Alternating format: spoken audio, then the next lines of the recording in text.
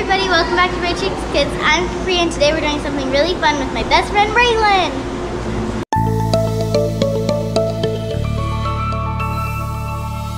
Today I'm at the East Idaho Aquarium, which is a 501c3 nonprofit. Today we're going to be meeting all sorts of animals, including Raylan's favorite, a sloth.